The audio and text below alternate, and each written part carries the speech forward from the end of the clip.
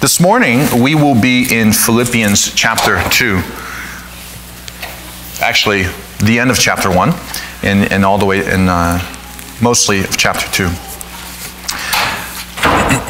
now, if you are unfamiliar with Philippians, Philippians is in the New Testament.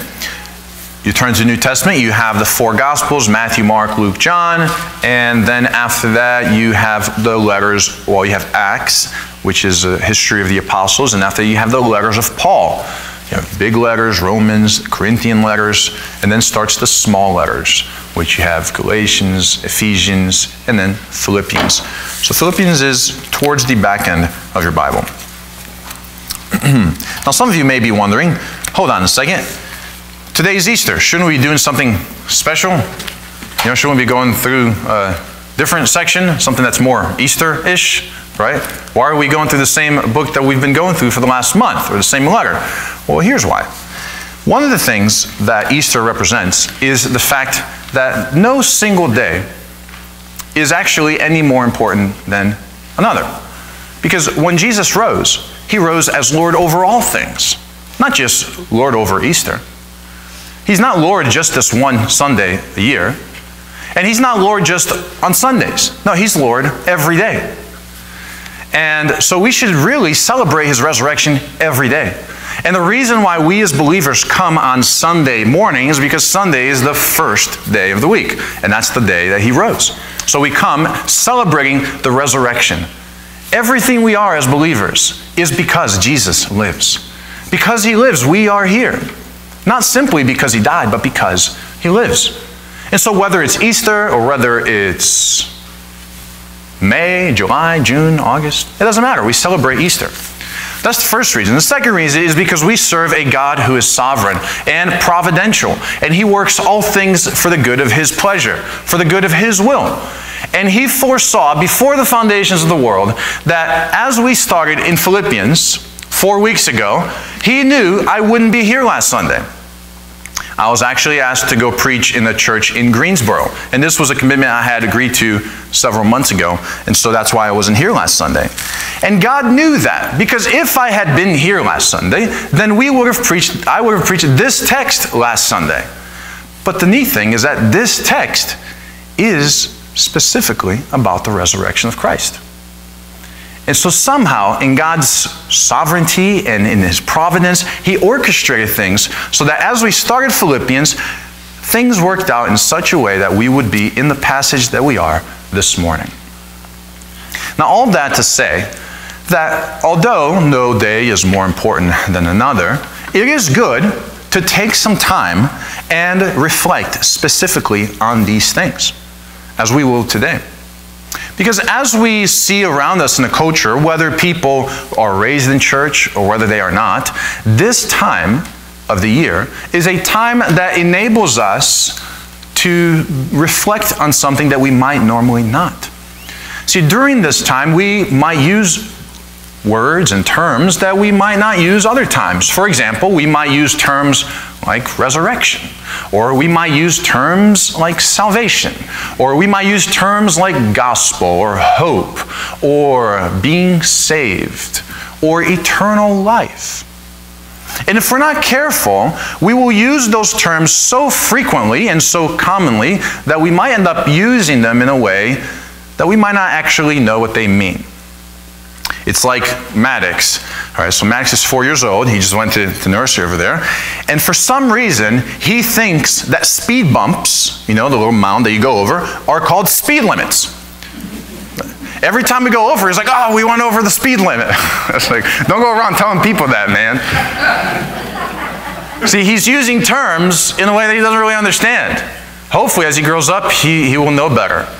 Uh, but it's very important that we understand what these things mean. And as Paul is writing this letter to his friends in a church in Philippi, he is very, very intentional. And he is very concerned that they would grasp the reality of what the gospel really is, what salvation really is, what life in Jesus really is. That's why his theme, I believe, the central piece of the book of Philippians is verse 27 chapter 1, verse 27. Let your manner of life or the King James might have, let your conversation be worthy of the gospel of Christ. The reason the King James uses conversation is because the word there is a word that means sort of like citizen. Your day to day tasks, in all that you do, in your day to day things, in your conversation, in your manner of life, live it in a way worthy of the gospel of Christ. So there we have it. He's using this word gospel. What does that mean? You see, the Philippians lived in Philippi, a colony of the Roman Empire in what today would be northern Greece. And much like our culture today, Philippi was a culture of somewhat of a podge, a melting pot of different ideas, different ways of looking at life, different worldviews. Whether it was the Greek philosophers learning their way through from Plato and Aristotle, or the Epicureans, or, or the Stoics, or whether it was the Roman citizens and the imperial court that was in charge of expanding the name of Caesar throughout the Roman Empire. There were all these many ideas circulating around, just like in our days. It wasn't one cut and dry thing. And then the Philippians are in this the middle of this context, and they're hearing all these things, and a lot of these words are being used by these different groups. Because they are all, like today, concerned with answering the big questions of life. And they're all giving their own answers. So, for example, they are all seeking to answer what is wrong with the world? And how do we fix it? Or do we fix it? Can we fix it? Should we fix it? And if we can, how and or who? The Platonists, the followers of Plato, believed that what was wrong with this world is the material things in this world. What we really need to do is attain to a way of thinking that is beyond the material. We need to enter into this the world of forms and spirituality. That's where we find our fullness, not in the world of material things. Sounds familiar with some things around us. The Stoics were rather similar. They said if you want to fulfill life, you need to attain to become a sage, a wise individual who is unaffected by the world around you. Because after all, this world contains what it means to be divine. See, they believed in a God, in this divine power that infiltrated all of life, that was inside of everything inside the tree, inside the water, inside of you, and inside of me. And to them, the goal in life to fix the problems of life was somehow being in touch with the divine existence within me. Finding the light within me and living according to that. Does that sound familiar? That's Oprah for you. Oprah, Dr. Phil, all those others. Find the goodness within. Nothing is new under the sun. The Epicureans would say, well, there may be, there are gods and divinities, but they're kind of like a watchmaker. You see, they, they make the watch and they turn it on, they made the world and they step away and they have nothing to do with it. The world just moves on and our job is to just do the best that we can, find pleasure. Pleasure is good, pain is bad, move on. Sound familiar? That's our culture today. And so the Philippians are hearing all these things. And hearing these terms, here's, here's deliverance, here's salvation, here's the good life. And then comes the next. Here's what's wrong with the world the world is disorderly. This world needs peace. This world needs order. This world needs a king. And who else but the Son of the divine himself, the very own Son of God, Caesar? He will bring peace. In fact, he brought what they call Pax Romana, Roman peace. Conquered the known world. And guess what they called this message? That king, that, that Caesar was the one to bring deliverance. They called it the gospel, the good news of Caesar. And he sent out heralds throughout the Roman Empire proclaiming, You need deliverance, and Caesar is here to bring it. So Paul is in the midst of this, and he knows his friends are in the midst of this, and he wants them to clear. He wants them to be sure that they are living a life worthy not of the gospel of Caesar, but of the gospel of Christ, the gospel of Jesus. And we must ask, why? What's so wrong with the way of the Platonists? What's so wrong with the way of the philosophers? What's so wrong with the way of Oprah? Doesn't it actually turn out to some good things every now and then? I mean, what's so wrong with politics and good legislation and having a good leader? Didn't they, after all, have a Pax Romana? What's so wrong with that? And yes, they do bring some things that are good. But the problem is that at the end of the day, even the best of them end up losing to the greatest enemy. Even the richest, the smartest, the most knowledgeable, the strongest, every single one of them lost to the great and true enemy. Because you see, the enemy is not that people need a better way of thinking. The enemy is not that people need better laws and legislation. The enemy is not that we need in our society a better structure and just the right person sitting on the throne. The enemy is death. At the end, all of them lost. Every single one was conquered by the true enemy, whose name is death.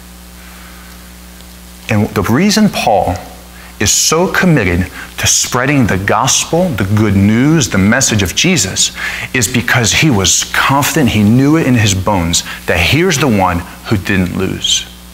Here's the one who faced the true enemy and actually came out on the other side, and actually won, and actually dealt with the problem the right way.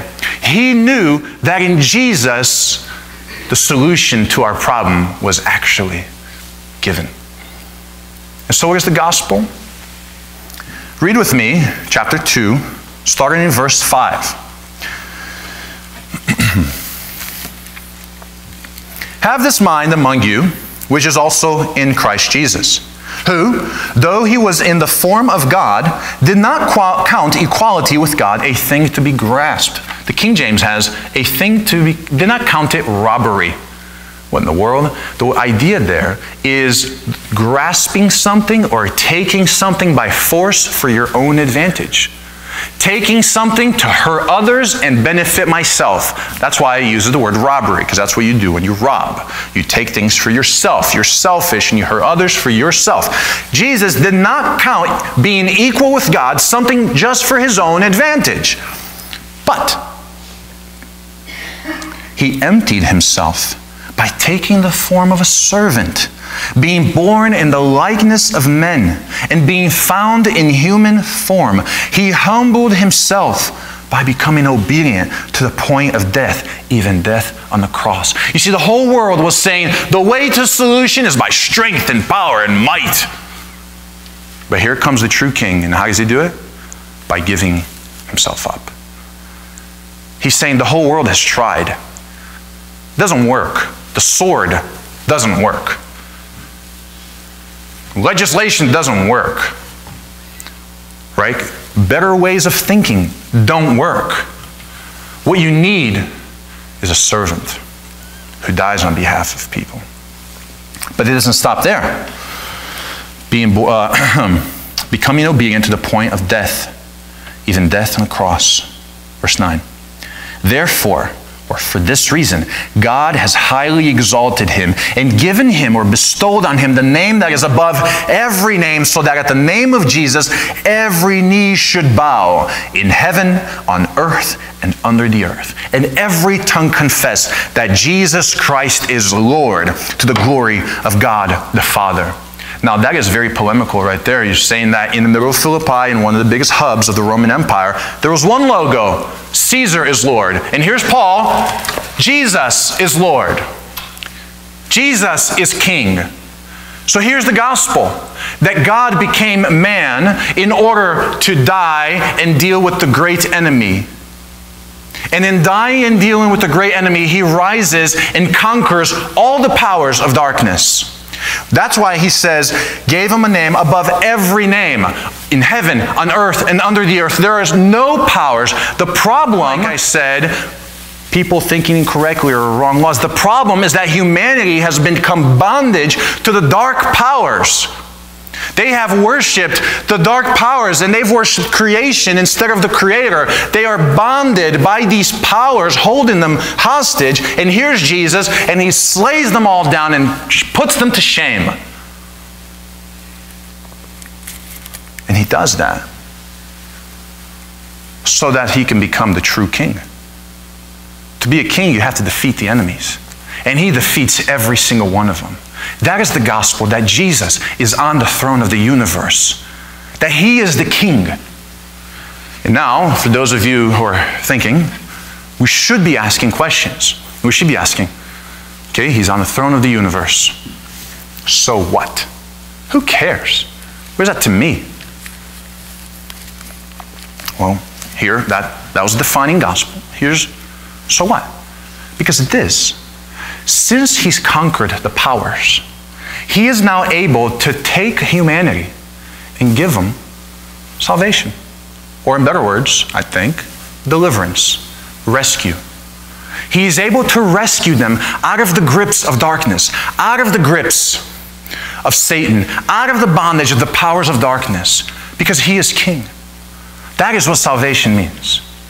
Far too long and far too often, I hear preachers and teachers, and meaning well, saying that salvation is simply the fact that we've been saved from sin. We've been saved from sin, from the penalty of sin. We don't get punished anymore. We won't have to infer God's judgment. We get saved from the power of sin. Sin's no longer over us. And we will one day be saved from the presence of sin. I'm not denying that. All those things are true. But that is a limited understanding of true salvation. Salvation has another side to this coin. That not only have we been saved from something, but we've been saved for something.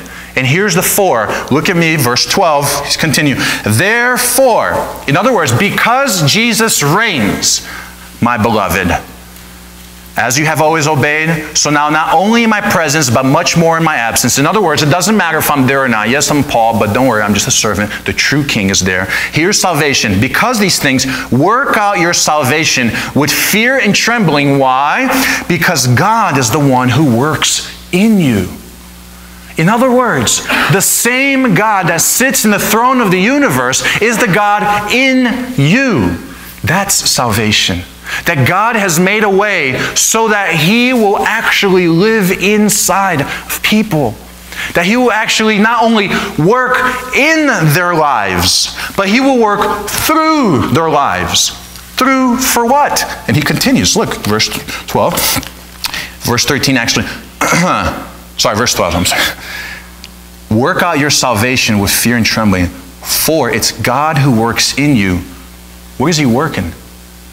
To will and to work for His good pleasure.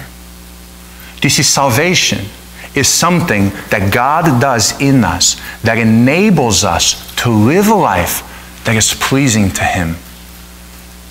We who were once in bondage to darkness, in bondage to selfishness, in bondage to self seeking, are now being restored in the inside in such a way that we can live a life that pleases Him.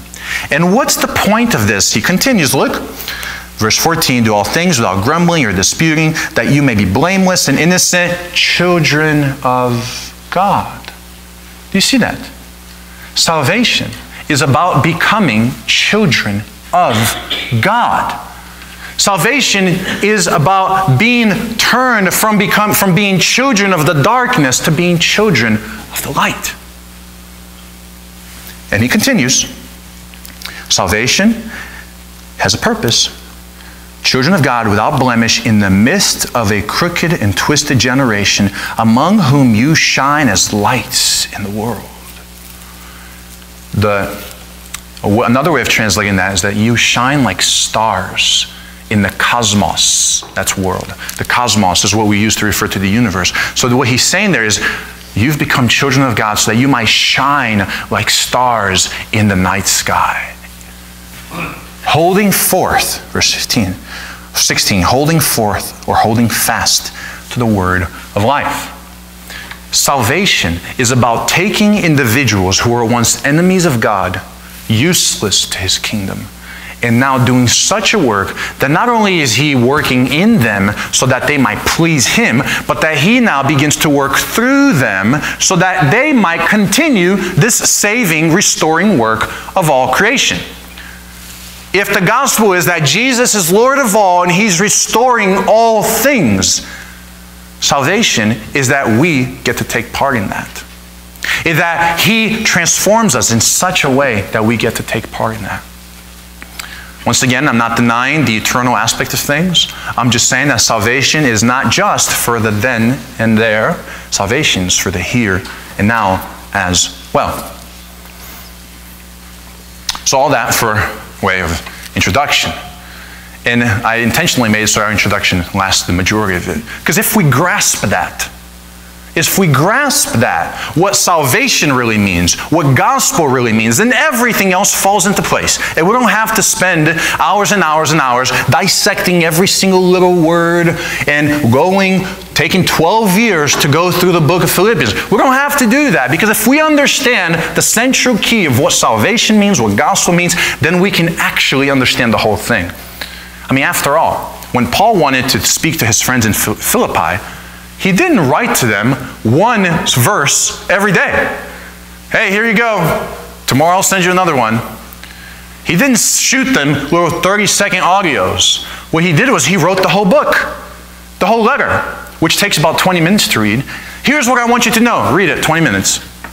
Read it again, read it again. In the same way that when we watch a movie, we would never watch the movie in two minute clips, would we? I mean, you might if if you have nothing better to do with yourself. But you know, sometimes Jessica and I will, if we, there's a long movie, two hours, I don't know, two and a half, we'll split it in like 45 minute, 30 minute. But we will never watch it 30 seconds at a time, because or else you'll never understand the movie. That's how Scripture is. I want to encourage you that one of the best things you can do is read Scripture in large portions. Large portions. Because then you will begin to grasp the author's intention. And here's where a study Bible, a good study Bible, will come in handy because at the introduction, it will lay out the big structures, the big scenes, the big chapters. And you can just read one chapter, or not the chapters we have laid out here, but the big sections, which might be one chapter, might be two chapters, might be one, half a chapter. And knowing this, that He lives and He reigns, and those who are in Him are called to live for Him then we can come back to what it means to live a life worthy of the gospel. As you can see, my title is Because He Lives, dot, dot, dot. Because He lives, certain things will overflow. Now, this is where we'll go back to verse 27 in chapter 1. And the idea here is that that central portion where he lays out the gospel of Jesus sits like the center of a hurricane. And the rest of the letter just spins around this center.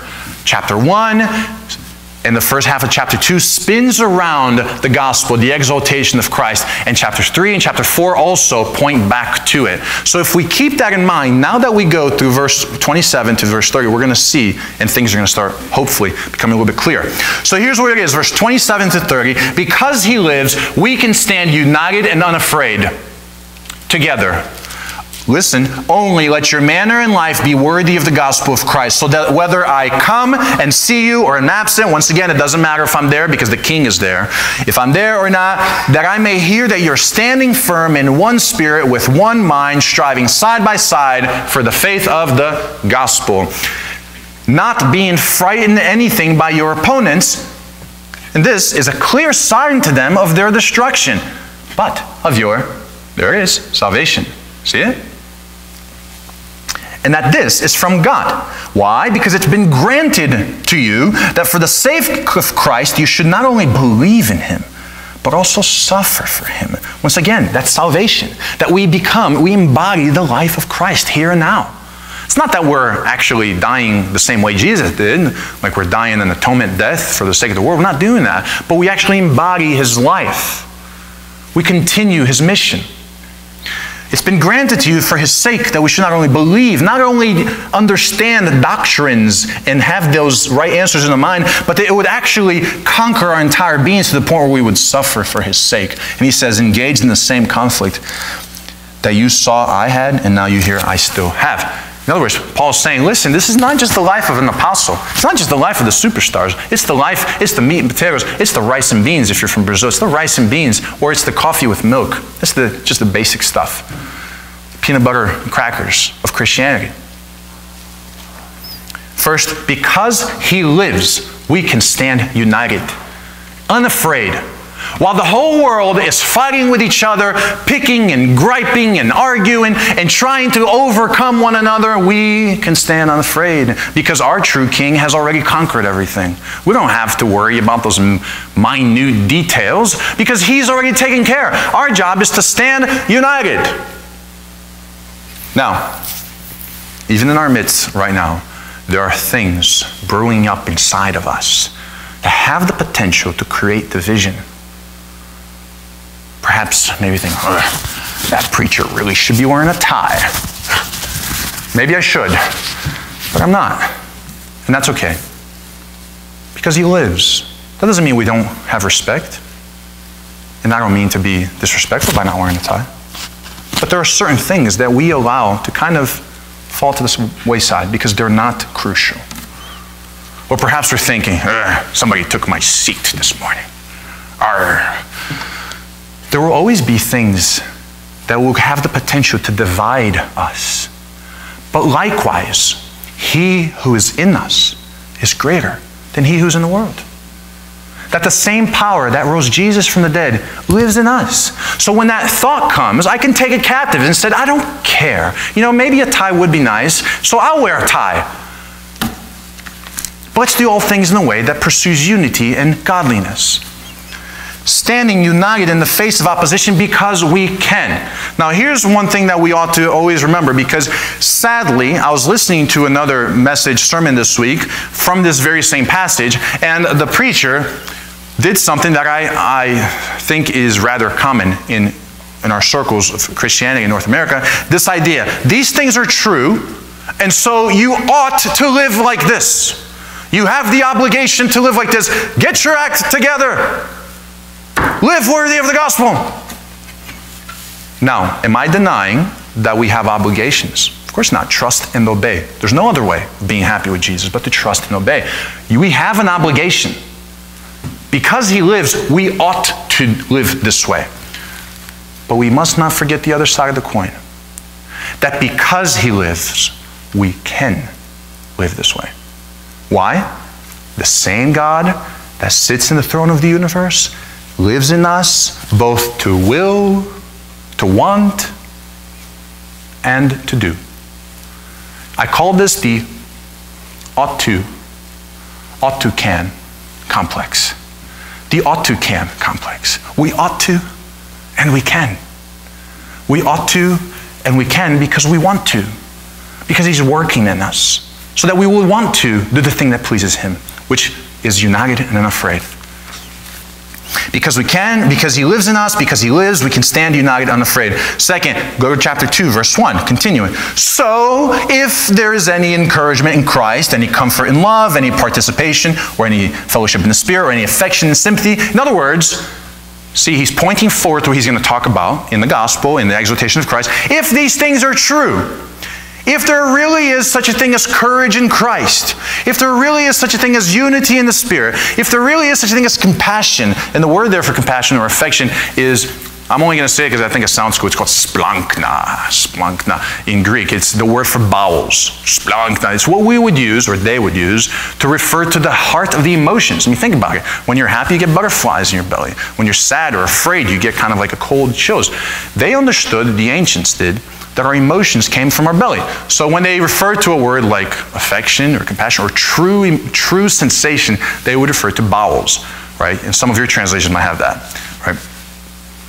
And the idea there, I think a good English word would be empathy.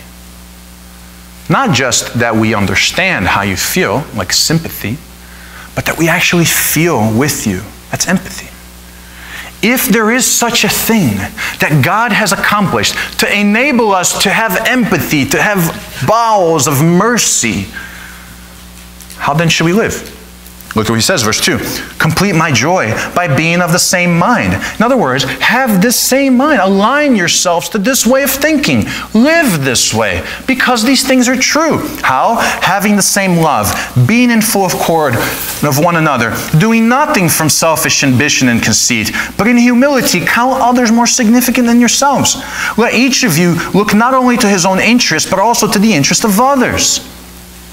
In other words, because he lives, Not only can we stand united and unafraid in the face of opposition, but the reason we can stand united is because He lives, we can love one another just like He loved. Did you catch what Paul is doing there? Don't do it out of selfish ambition, but in humility, hint, hint, or wink, wink. He did not count equality with God, something prideful, but in humility, let us what? Consider not only our own interests, but the interests of others. He became a servant. He served. For decades and centuries, theologians and teachers have shed hundreds and hundreds of pages of paper trying to explain what does it mean that Jesus emptied himself? What does it mean that did, did he lose his divinity? Did he become? What does that mean? Here's what it means, John chapter 13. That the creator of the whole world got up, took off his nice clothes, took on a towel, wrapped it around his waist, went to his friends who had filthy, smelly, dirty feet, and he knelt down and he washed their feet. He did the job of a servant. That's what it means that Jesus emptied himself. He did not count his rights something to be used for his sake only, but for the sake of others. So often in our Christian world, I see people arguing, bickering, Christians, so called, saying, I have the right to do this, I have the right to do that. You know what Christian liberty is? Christian liberty is the right to give up your rights. People often say, Oh, Christian liberty, I have the liberty to do this and do that. Yeah, you sure do. But Christian liberty is that you have the right to give them up and that it doesn't matter because you already have what really matters, which is life in the kingdom. To live is Christ, to die is gain. Who cares if I have to wear a mask to go in the store? For the sake of others, we give up our rights. And we do that because we ought to, and we do that because we can, because He lives. Moving on. We live, because He lives, we can stand united, unafraid. Because He lives, we can live lives of love just like He did. Not doing things out of selfish ambition or conceit. There's enough of that in the world already. There's selfish people around. This is kind of a constant theme in our, in our house. We say, guys, there's enough selfish, lazy people in this world. We don't need any more. We need to play a part. We need to do our job. Whether that's putting water for the dogs or whether that's putting away the dishes. We need to do something. That's what Paul is saying. Guys, this world is full of selfishness. Something has really happened that enables us to actually be different. So let's do it. Third, now we, we've already gone through the gospel, so let's jump through that through verses 6 and 11. And we jump all the way to verse 12. Remember, 6 and 11 right chapter 2 6 and 11 serves like a central point in the entire book, and everything just spins off of that. And then here's verse 12 because he lives, Verse 12, therefore, beloved, as you have always obeyed, so now, not only in my presence, but much more in my absence, work out your own salvation with fear and trembling, for it is God who works in you, both to will and to work for his good pleasure, doing all things without grumbling and disputing why? So that you may be blameless and innocent or above reproach, children of God without blemish. Because He lives, we can live lives of holiness. We can live lives of holiness. And if you remember back to the first message that we first started, when Paul says, I'm writing to you, saints. And how I tried to explain that what the word saints means is that holy people. And that to be holy means at least two things. Now, holy is kind of, holiness is kind of like a diamond with a bunch of different cuts, but there's two biggest cuts. And the first thing is holy is this that you can actually please God. That you can please God. You can live in a way that makes Him happy. And because of that, you can enter His presence. Now, if you're not holy, you can't. It's kind of like I was talking to the kids yesterday. Think about darkness. Let's say we turn off all these lights, we closed all the windows. Darkness. What would happen as soon as we turn on a light? The darkness goes away. Why? Because darkness can't do anything about light. That's what holiness is. If we are dark, we can't stand in the presence of God. But because He lives, if He lives in me, we can be holy and I can please God and I can stand in His presence. That's the first thing. The second thing about being holy is not because we can stand in His presence and we can please Him, we can actually represent Him to the world. We can be his image bearers. Here's what he says, looking on, verse 13. It's God who works in you to please, to work for his good pleasure. Verse 14, doing all things without grumbling or disputing, so that you may be blameless and innocent, children of God, without blemish, where? In the midst of a crooked and twisted generation, among whom you shine as lights in the world, as stars in the night sky, holding fast to the word of life. Holiness means that we get to represent God. We get to be his image. We get to become like Jesus, what Jesus was when he was here on earth, and what he will be when he returns. We get to be a small little part of that. I'm not saying we become the same level of authority as Jesus is, but it does say, after all, that the saints will reign in his kingdom with him. And that's what holiness means. And because He lives, we can be unafraid as we go through this neighborhood bearing His image, taking those food boxes in the name of Jesus, saying, Here, Jesus lives and He loves you and He provides for your need. We'll be back. And as you come back, we review more and more and more and more. And we can do that because he lives. Now, just a little hint here. And here's the thing with Scripture that as you read Scripture, there's a surface level, right? That's easy for us. And as we continue to read, we can kind of dig deeper and dig deeper. And Paul kind of gives out a little wink of the eye here for whoever has ears to hear. He says this Look, verse 14 Do all things without grumbling and disputing. Now, look at verse 15, we are children of God without blemish in the midst of a crooked and twisted generation. What is he doing there? For those of you that know the story of the people of Israel in the wilderness, Exodus, Numbers, Leviticus, Deuteronomy, maybe the orders will be different, can't remember. Um, remember how the people of Israel, as soon as they left Egypt, and they're in the wilderness, and God provides, and God provides, what do they begin to do? Grumble, grumble, grumble, grumble, complain. He's saying, He's trying to wink at you and say, for those of you who know, remember that? Don't be like that. And then he says this, but children of God without blemish in the midst of a crooked and twisted generation. That crooked and twisted comes from uh, Deuteronomy 32. Listen up. This is at the end of the Pentateuch. Moses is about to die. They've made it their whole way. And he looks at that generation that has left Egypt and he says this. They have, he's speaking to God, they have been corrupt. They are no longer his children because they are blemished. They are crooked, twisted generation, or perverse, some, some translations say. But Paul is taking that exact phrase and putting it here. You are children of God without blemish in the midst of a twisted and crooked generation. And why is he doing that? I think because if we're not careful, we'll see, see, I'm a child of God in the midst of a crooked and twisted generation. Look at the crooked and twisted generation. I can see them through the window. Oh, those rebels, godless people out there, don't they know better for them?